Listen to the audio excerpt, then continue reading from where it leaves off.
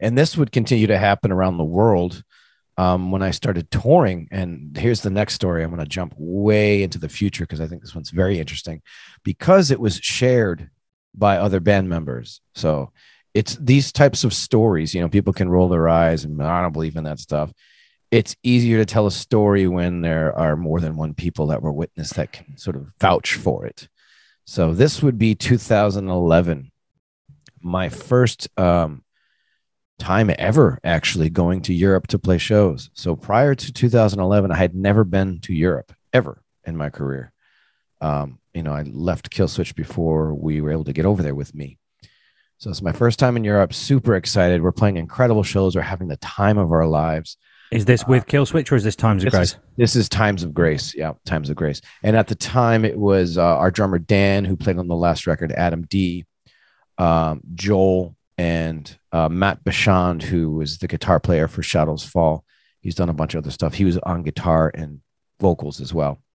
So all of these guys were on the bus. Um, I'm not quite. I think Dan, myself, and Adam.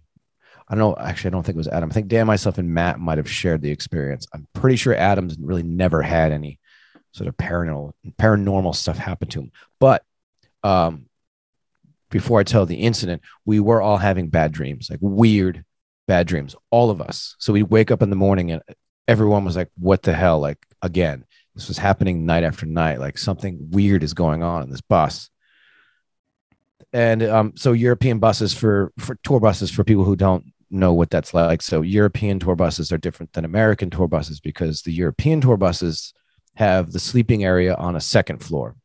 So you open the door, there's your front lounge there where you hang out, you eat the driver, the driver's bedroom, and upstairs is another lounge area and then the sleeping quarters. So you're up on the second floor. So this all this stuff is happening on the second floor of this bus. So um one night after these bad dreams and we're all kind of discussing how it's just weird vibes on the bus uh, i'm just about to fall asleep we're on our way to luxembourg for i think a day off and then a show at this really small club in luxembourg. Um, and it was my first time to luxembourg. Super excited. I'm just like i've never been to luxembourg. What's luxembourg like? So we're on our way. I'm getting ready to just just right at the edge of sleep. And i hear a child laugh a giggle. And it sounds like it's got like reverb on it. It's like a you know what they call disembodied voice.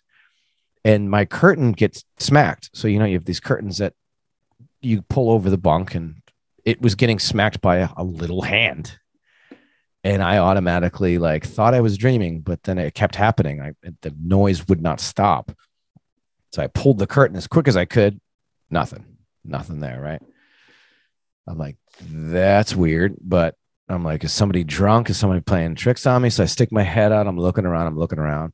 And Dan, our drummer, sticks his head out. He's like, Did you hear? I was like, Yeah. It was like a kid laughing. He's like, Dude. I was like, Dude, I heard that too. So I was like, Oh, this is nuts. So we kind of like, All right. You know, you, you sort of wrestle when these things happen. You sort of have this moment of like, Did that really happen? And then when you see somebody else experience it, it kind of makes it more real. But we eventually we're able to sort of like calm ourselves down and pull the things back and just try to sleep. We just got to get some sleep. It's already really late. We've been up, you know, hanging out late on the front lounge. As soon as I pull the curtain back, I hear laughter again. Then I hear what sounds like um, what I can only describe as like a parental voice scolding said child. and that was it. I pulled the curtain over. and Stop looked keeping the rock stars away. yeah, just like what the fuck is this? This is just crazy.